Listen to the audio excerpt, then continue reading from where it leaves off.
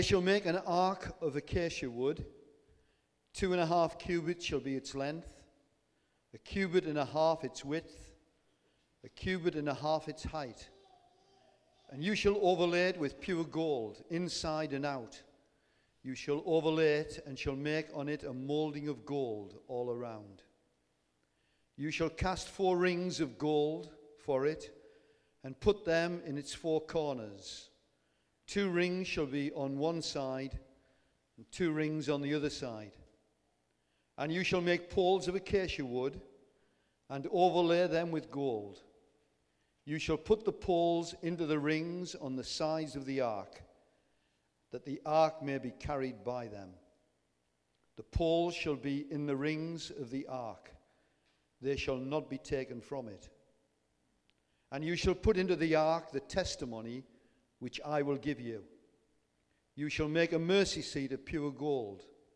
Two and a half cubits shall be its length, and a cubit and a half its width. And you shall make two cherubim of gold, of hammered work.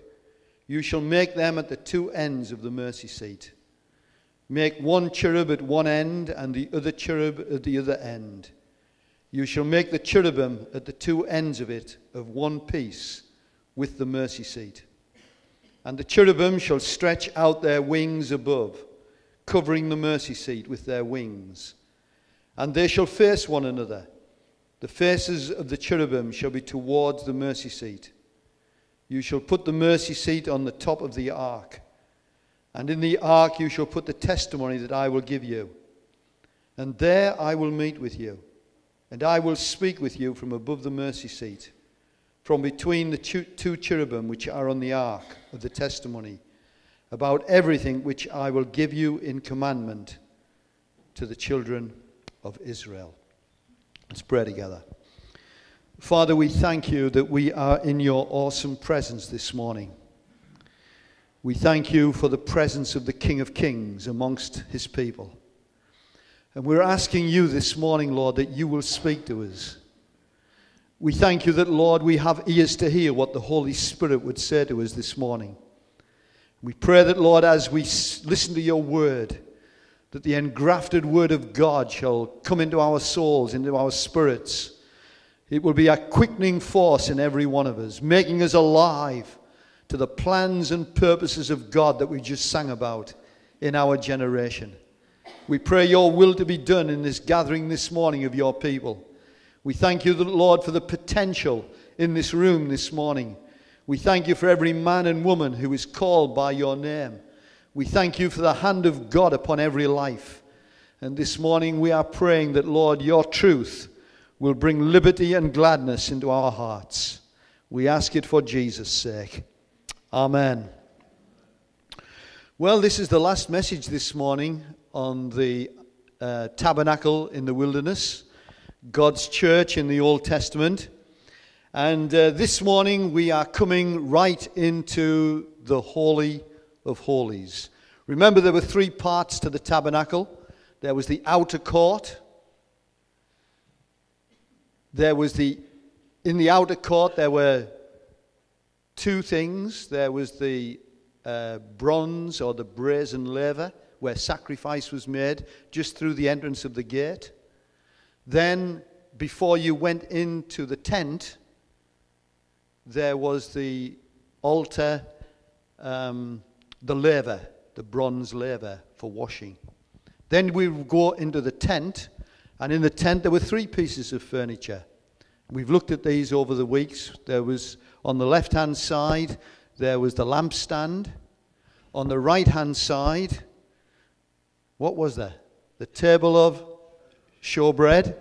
And right in front of the veil was the altar of incense. A couple of weeks ago, I spoke about the altar of incense, place of prayer, right in front of the veil.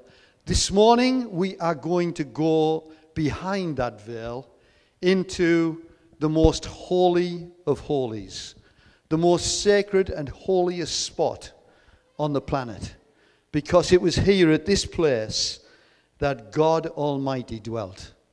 And we're going to look this morning at the Ark of the Covenant. The Ark of the Covenant is a symbol of the divine presence of God amongst his people. He said that he would meet with them. And he said, I will commune, commune with you from above the mercy seat, from between the cherub, cherubims which are upon the ark of testimony. This, where the cherubims are there, the top slab where they're sitting on was called the mercy seat. The cherubims are there guarding that place because, as we'll see this morning, cherubims guarded the throne of God. And they're there this morning guarding the, the mercy seat. When we have looked at the ark, we have come in from the outside. We have come in from the, the wilderness. We've come through that white linen curtain that's stretched all around. And we've come in through the one gate. And we've made our way from the, the, the, um, the, the brazen altar. We've made our way to the laver, then into the table of showbread, the lampstand, and the altar of incense. But I want you to notice, friends, although we talk about the Ark of the Covenant this morning, last in this series of messages, it wasn't so.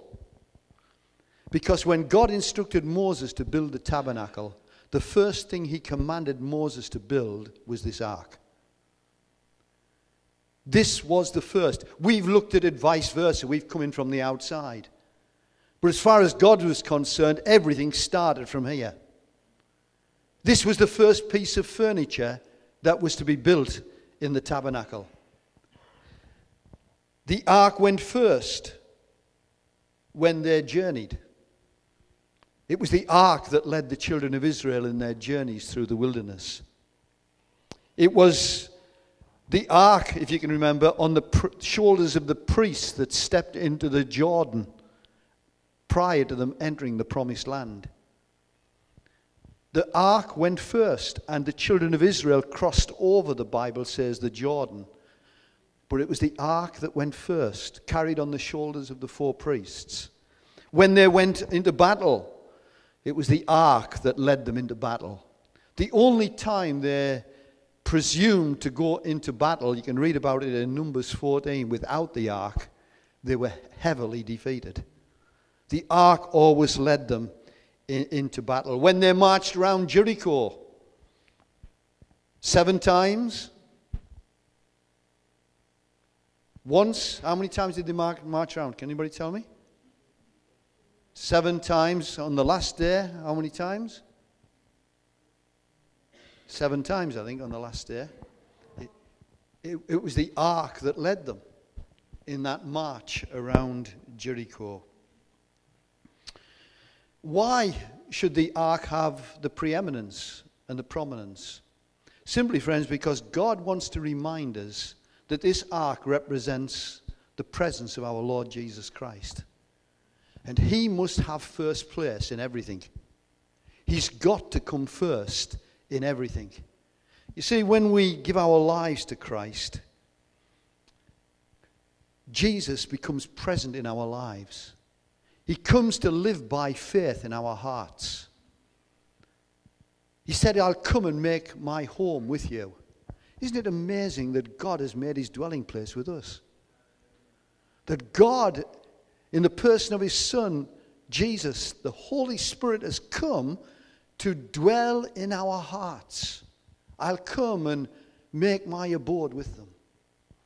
God has chosen us to make his dwelling place uh, amongst. In some Christians, Jesus is prominent. In other words, he's very important.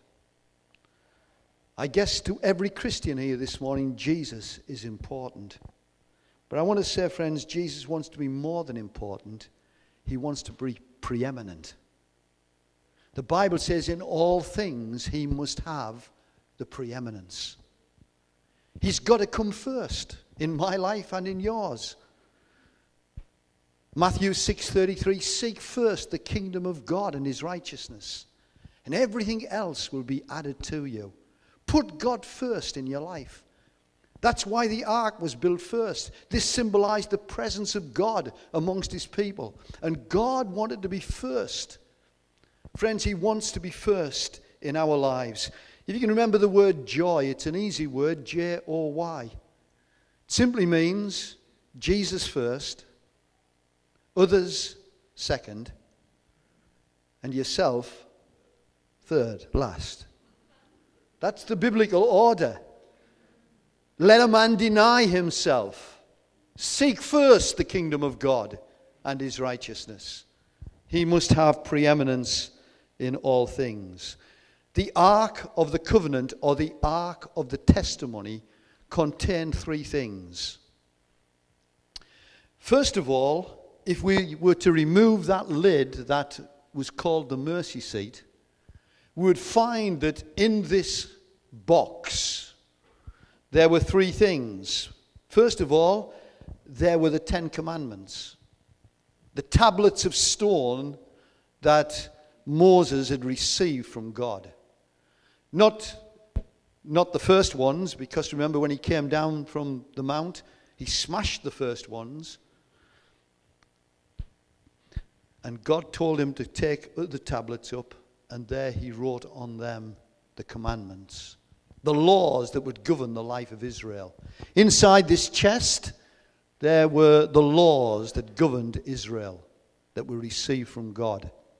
Also, inside the chest, there was a pot of manna. Remember, it was manna that the children of Israel ate.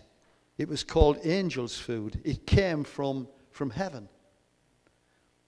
In other words, God was providing spiritual food for his, his children.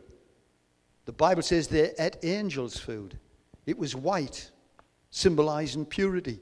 It came at night time. It all speaks of Jesus, doesn't it? He was the bread of life. He came as the bread of life into this world. He came pure and holy and harmless, undefiled, separate from sinners. He came at the darkest hour in the world's history. God so loved the world, he gave his only son. And there was in this ark, this chest, the pot of manna, miraculously kept. Because remember, they didn't have to keep it overnight, it had to be eaten on the Sabbath day. They had to gather twice as much so that they didn't have to gather it on the Sabbath day. And on the Sabbath day, there were some people who went out to gather the manna, found out that it just, there was no manna there for them to. So they had to get twice as much the day before the Sabbath. But this manna in this chest was miraculously kept by God. Also in the chest, there was Aaron's rod, Moses' brother Aaron's rod there was a question that rose about Aaron's authority as high priest, as the high priest amongst the leaders of Israel. And God said, Tell the, t- this is what I'm going to do. Every leader brings their rod, this dead stick, brings their rod and engrave upon the names, put their names on the rod, and lay them at the tabernacle. And he said, In the morning, I'm going to show you what I'm going to do. In the morning, when they went back, these, these rods from the leaders of Israel, they were still dead, they were still dry. But Aaron's rod, the Bible says it had budded and almonds had come upon it. In other words, God was confirming. And, and that speaks to us of resurrection, doesn't it? It speaks to us of resurrection. Out of deadness, resurrection came. Thank God, friends, he was dead. But on the third day, God raised him from the dead. He was the first fruits, the Bible says. His resurrection guarantees our resurrection. He was the first fruits of all those who slept. This was the ark of the covenant with these three things inside of it. The Ark of the Covenant is one of the most sought after relics of Jewish history. still today. There have been countless programs on TV about the Ark of the Covenant. Some say it's in Ethiopia. Heard of one that said it's in Jeremiah's grotto, Gordon's Calvary, in a guy called Ron Wyatt in 1968 apparently stumbled on this Ark of the Covenant. All speculation. I'm going to kill myself over that, aren't I? So there have been countless um, books written about the Ark of the Covenant. Movies have been made. I think the most important movie, or the most well known, is is it Spielberg's Raiders of the Lost Ark? How many have seen that? Oh, I see all you boffins. Raiders of the Lost Ark. Of course, all, all that's fictional. But I want to tell you, friends, there was nothing fictional about the ark. This was the dwelling place where Almighty God chose to meet with man.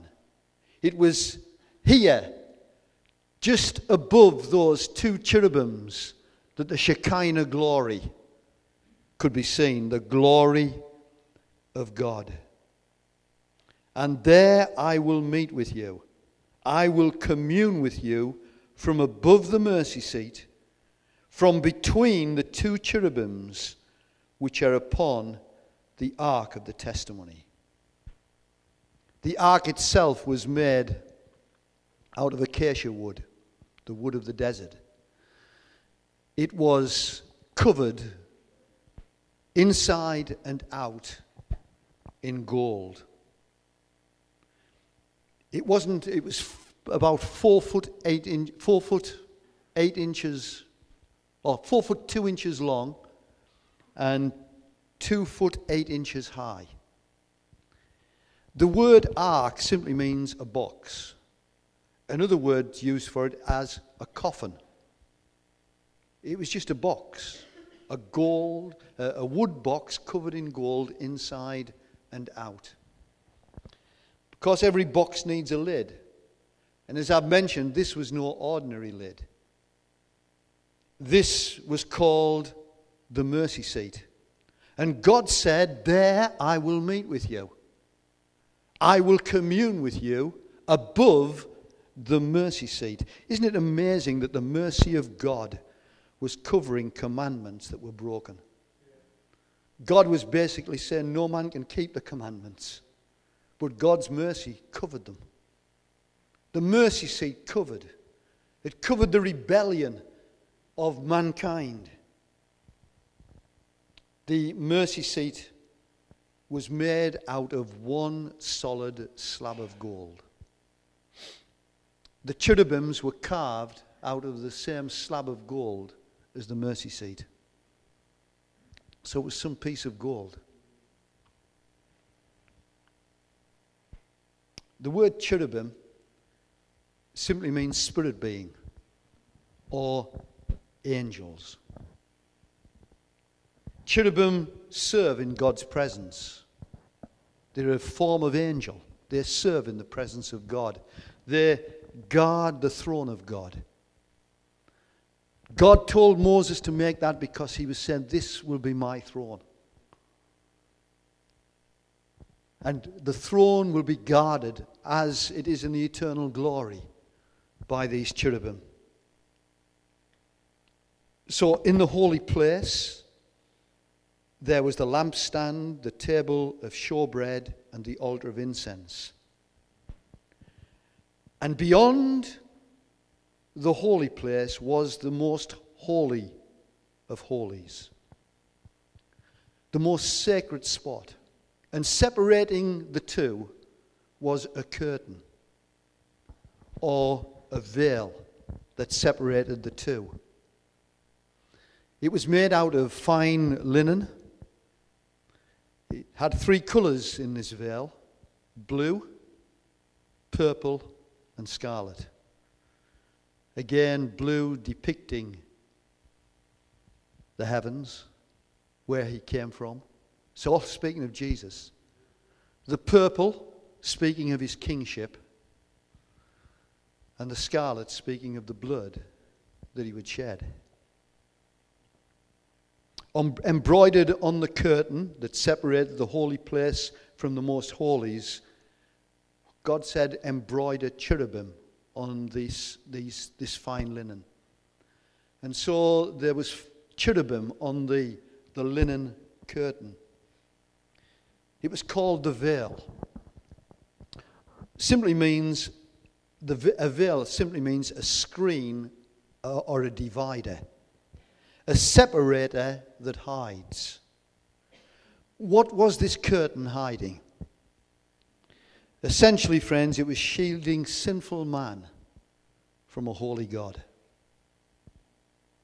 Within the veil, in the Holy of Holies, was the visible presence of Almighty God. The picture of the veil was that of a barrier. A barrier between man and God, showing man that the holiness of God couldn't be trifled with. God was holy, and he was separate from sinners. Man could not approach a holy God. The Bible says God's eyes are too pure to look on evil. He cannot tolerate sin. Habakkuk 1, verse 13 You are of purer eyes than to behold evil, and you cannot look on wickedness. The veil was a barrier, a barrier to make sure that man could not carelessly or irreverently enter into the presence of God. I want to say this morning, friends, the Holy of Holies was an awesome place. Awesome. From the outside, if we were, only the priest could go into the holy place. Man couldn't go in there, only the priests. But man could come in to the place, the, just through the gate to the, the, uh, the altar of sacrifice. and the laver. But they couldn't go into the holy place. The whole, aw, there was an awesomeness about this place. From the outside, you would see a visible cloud abiding above the most holy of holies. You would see it with your eye. You couldn't go inside the tent but from the outside, there was a cloud that was hovering above the Holy of Holies. The Bible says it was a pillar of cloud by day, and it turned into a pillar of fire by night. So all of Israel and the eyes of all of Israel's enemies could see this cloud. It was visible. But inside the Holy of Holies, there was the glory of God, the Shekinah glory. There, the voice of God could be heard above the mercy seat between the two cherubims. Once a year, in the most solemn day in Israel's calendar, the high priest would go and make his way into the Holy of Holies. That day was the day of atonement. When he would go into the Holy of Holies to make atonement for the sins of all the people. No other could enter that holy place apart from the high priest.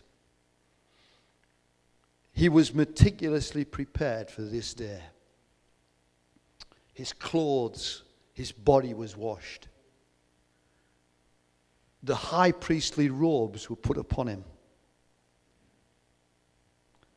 And he would go into the holy place burning incense.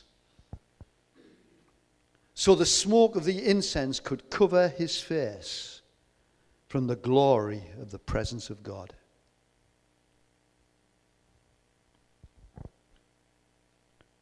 He was to go into the Holy of Holies taking blood with him the blood of sacrifice. Once a year he did that to make atonement for the sins of all of Israel. Round the high priest's foot, a rope was tied.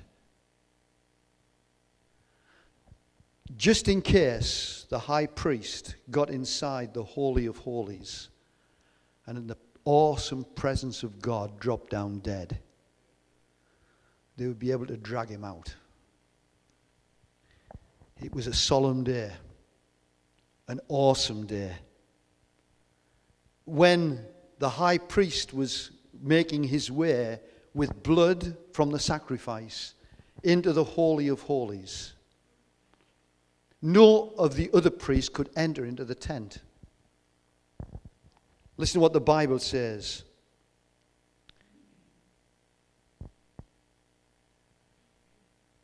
There shall be no man in the tabernacle of meeting when he goes in to make atonement in the holy place until he comes out, that he may make atonement for himself, for his household, and for all the assembly of Israel. The high priest was the only one allowed to enter into the Holy of Holies. Hebrews 9, verse 7 but only the high priest entered the inner room, and that only once a year, and never without blood, which he offered for himself for the sins the people had committed in ignorance. Leviticus 16:2 The Lord said to Moses, "Tell Aaron your brother not to come at just any time into the holy place inside the veil before the mercy seat, which is on the ark." Lest he die.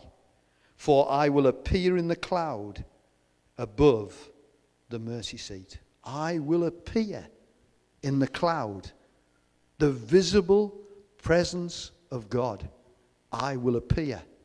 The Bible says, No man has seen God at any time. I want to suggest to you, friends, that when he appeared, he appeared as the Christ who would eventually be born into this world. The pre incarnate Christ, who is seen in the Old Testament. Time and time again, when God appeared, he appeared in the person of his Son, the Lord Jesus Christ. When Daniel was thrown into the furnace, the king said, I put three men in that furnace Shadrach, Meshach, and Abednego. But behold, I see four men walking. Who did he see? He said, The appearances of the other is like the Son of God. He saw the pre incarnate Christ before he was born. Friends, before he was born, he was here. We've heard about that uh, last week. I am the Alpha and the Omega, the beginning and the end, the first and the last. There has never been a time Jesus has not been. What an awesome place this holy place must have been. I will appear in the cloud above the mercy seat. Whoever entered into this holy place was entering into the very presence of God. So the presence of God remained shielded from the eyes of Israel throughout their history. All they could see, as near as, or as near as they could get, for every priest was up to that altar of incense and to the veil that separated. They couldn't go any further. The presence and the holiness of God was shielded from them throughout their entire history. God is holy, man is sinful. Sinful man can't approach the awesome presence of Almighty God. In other words, the way to approach the presence of God was not yet known. It's interesting, isn't it? It was a curtain that separated. It wasn't a, a, um, a bronze wall. It wasn't a thick piece of steel that separated, it was a curtain. Speaking of the temporary nature of this thing. God was saying one day that curtain's going to come down. One day man is going to be able to come right into the awesome presence of Almighty God.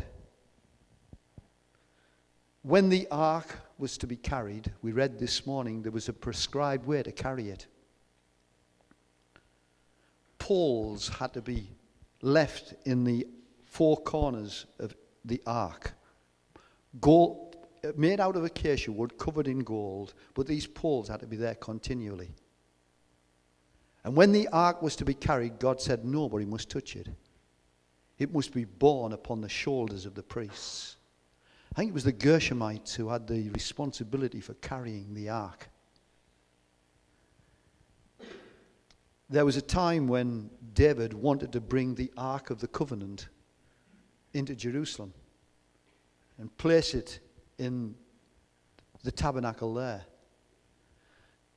And as they were bringing the ark of God, it was brought on a cart. God never said bring it on a cart. It was brought on a cart. And as the cart was going along, it must have hit a brick or a, a stone in the road, and it, it, it shook. And two men, two, two brothers, who were the sons of a man called Uzzah, they reached out their hands to steady the ark on the cart. And they dropped down dead. David didn't take the ark that day into Jerusalem. The Bible says he took it to the house of a man called Obed-Edom. And there the ark stayed. David learned his lesson. Months later, he brought the ark of God up, but he brought it up in the prescribed way, carried upon the shoulders of the priests. This was an awesome thing the presence of Almighty God. I want to take you now to a place called Calvary. A place called, in the Hebrew, Golgotha. It was a place of a skull. And there, as we go there, we will see three men being crucified upon crosses. It's the one who is on the center cross that attracts our attention. Because this was God's Lamb. The Lamb of God that takes away the sin of the world. This was God's Lamb. Christ, our Passover, was being sacrificed for us. On the cross, friends, this is exactly what Jesus did. He made atonement, taking away the sins of the whole world. Made atonement, just like the high priest made atonement for all of the Israelites. Jesus on the cross, he made atonement on this day not only for the sins of Israel, but for the sins of all humanity. For my sin and yours, it was laid upon him on the cross. Isaiah said, he, Our transgressions were laid upon him. Our transgressions were laid upon him. There he made atonement for our sins. The Lord has laid upon him the iniquity of us all. Awesome to think that my sin, your sin, was upon him when he died that day. The last words he spoke from the cross, or the last words that could be heard, Bible says Jesus said, Father, into your hands I commend my spirit. Once he'd said that, he bowed his head and he gave up his spirit. He's the only man ever to do this. He was the only man who ever lived who chose the exact moment he would die. I know people can choose by suicide and things like that, but this was a voluntary. This was his spirit being yielded up, dying.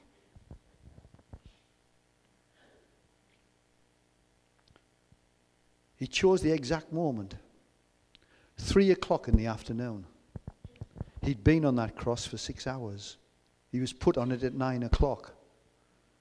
At, at midday, there was darkness over the whole land until three o'clock in the afternoon. When from the cross there was a piercing cry. The Bible says people heard it. Jesus cried with a loud voice, It is finished. It was exa- at that exact moment at three o'clock in the afternoon when the Passover lambs were being sacrificed in the temple. The exact moment, three o'clock. The priests would be taking the, the first Passover lamb to sacrifice it. Christ, our Passover, is sacrificed for us. And at the moment of his death, the Bible says there was a great earthquake. And the veil, this curtain that is now in the temple, the temple in Jerusalem was a direct replica of the tabernacle in the wilderness. But I want you to understand the veil in the temple was a lot bigger than it was in the tabernacle. The veil in the temple separating the Holy of Holies it was 60 feet high, it was 30 feet wide, and 4 inches thick. And at that exact moment that Jesus said, It is finished, the Bible says this veil was torn from the top to the bottom. No human hands had touched it, but God tore the veil. Man couldn't have torn it even if he'd got hold of it was too thick. But God from above tore that veil in two. And as the veil was torn, the Holy of Holies was exposed. God was saying, My presence is now accessible to all. Shocking as this may have been for the priests who were on duty that day in the temple, they must have been horrified. This massive earthquake and the veil, this mighty 60 foot high curtain that separated the, the holy place from the most holy of holies, was split in two from the top to the bottom. They must have been horrified when they saw the veil on the day that Jesus was crucified torn in two. However, for us friends, it's, in, it's good news. Amen? It's great news. It's great news for all believers everywhere. Jesus' death has atoned for our sins. He's made us right before God. The torn veil in the temple illustrated the body of Jesus that had been broken for us. He opened the way for us to come to God. Hallelujah. He opened the way for us to come into the presence of God. As Jesus cried out, It is finished on the cross, he was indeed proclaiming that God's redemptive plan was now complete. The age of animal sacrifice was over. The ultimate offering had been made. Christ had been sacrificed on our behalf. Isn't it amazing that we now have the right to enter into the holy presence of Almighty God. The same privileges the high priest had once a year are now ours every day of the year. Hallelujah. Every day of the year, we can know His presence. We can meet with God, not on a yearly basis, but on, a, on an hourly basis, on a daily basis. We can know our God. We can hear the voice of God speaking to us. My sheep hear my voice. You see, friends, if we get into his presence, we'll hear his voice. We'll hear God speaking to us. say, God never speaks to me. Well, if God never speaks to you, you've never been in his presence. Because his sheep hear his voice. And God speaks to us from his presence. We can now enter the inner sanctuary behind the curtain where Jesus went before us, has entered on our behalf. Listen to how Paul describes it in Hebrews. Therefore, brothers, since we have a confidence to enter the most holy place by the blood of Jesus, by a new and living way opened for us through the curtain, that is his body, let us draw near to God with a sincere heart, full of assurance of faith. Hallelujah. He made a way where there was no way. The Bible says, In him we live and move and have our being. We can live our lives daily in the presence of an awesome God. I want to tell you, friends, this is absolutely staggering. Moses said, If your presence doesn't go with us, we don't want to go into this new land that's before us if your presence doesn't go with us. He realized how much he needed the presence of God with him. I want to tell you, folks, we need the presence of God. We need it in our individual lives, we need it in our church. On a Thursday night, we cry out to God for his presence to come amongst us.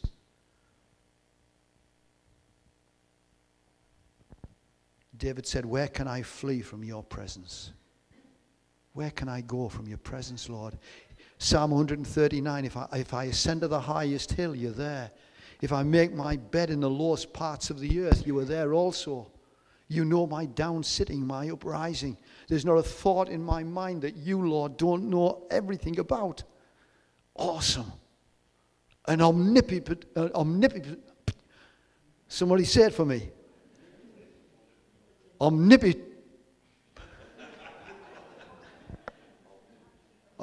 omnipotent God, all knowing, all seeing. Jonah tried to flee from the presence of God. I want to tell you, friends, you'll never escape God's presence. Adam and Eve, they hid, the Bible says, from the presence of the Lord. I want to tell you, when you've got sin in your life, you want to hide from the presence of God because He's holy when there's unforgiveness in our hearts, when there's sin in our hearts, we want to hide from God's presence. Just like Adam and Eve did. But it's a wonderful thing to come boldly to the throne of grace, this throne, that we might find His help and to help us in our time of need. Awesome, awesome thing to be in the presence of God. Sinai quaked Mount Sinai quaked at the presence of God. The Bible says a fire goes before him and burns up all his enemies. The hills melt like wax in the presence of the Lord. Nations tremble, Isaiah says, in the presence of the Lord. This awesome God. No wonder Israel's enemies were terrified because God was with them. Thank God, friends, He's with us. He's not only with us, He's in us. Our bodies have become temples, a dwelling place of Almighty God. To live our lives in God's presence is a great place to be. You will show me the path of life. In your presence there is fullness of joy. At your right hand there are pleasures forevermore.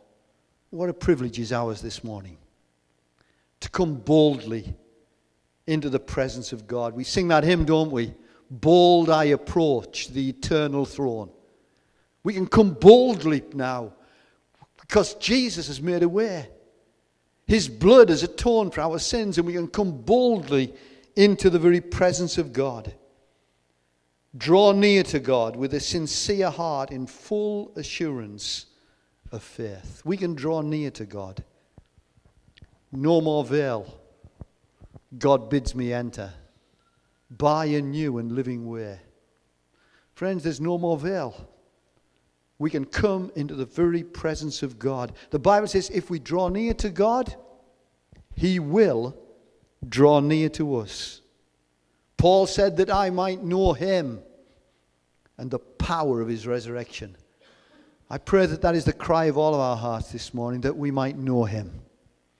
That we might know Him and His power. You see, God's presence, when we get the presence of God, we'll get the power of God. Some people want the power of God without the presence of God. I want to tell you, friends, the presence of God, when we get, when we get, when we get Him, then when we get to know Him, the power of God comes with it.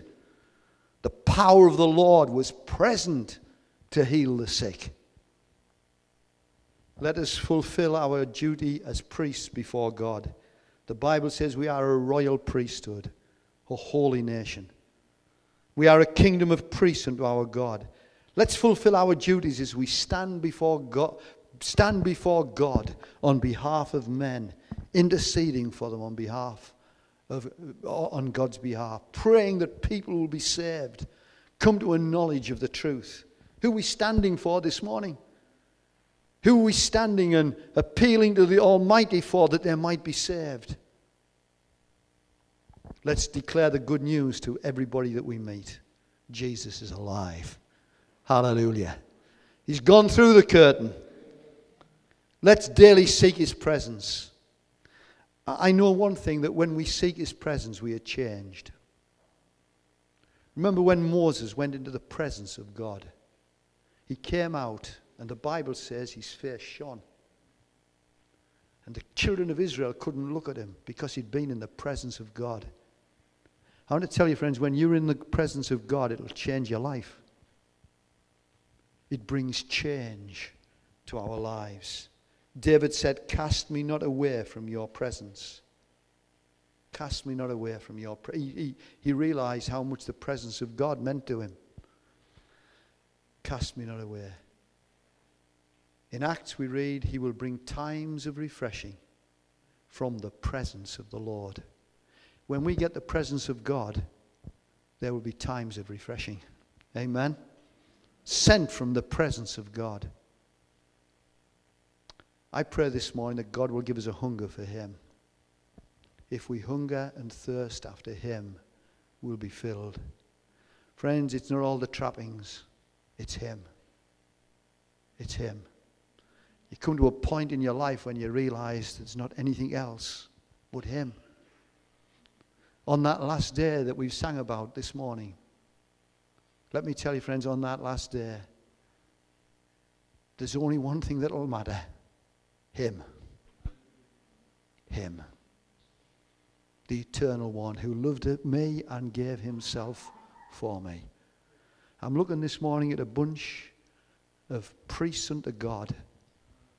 I'm looking this morning at men and women who are God's chosen people, who have the privilege of walking in the presence of God, living their lives in the awesome presence of the Almighty.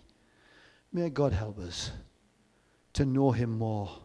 If you don't know Him this morning, let me tell you, friends, when He died on that cross, He died for you and He loves you. He's willing to give wipe the slate clean and give you a brand new life. Hallelujah. A life of purpose, a life of fulfillment not a bed of roses. I'm not going to say if you give your life to Jesus, you won't have any troubles. Man's born into trouble as the sparks fly upward.